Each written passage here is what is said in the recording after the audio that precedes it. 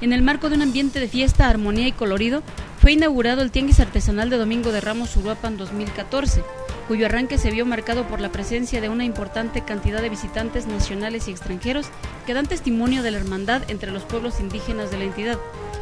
La apertura se dio a través del 18 desfile concurso de artesanos, en el que participaron contingentes de 25 comunidades de las distintas regiones étnicas de Michoacán.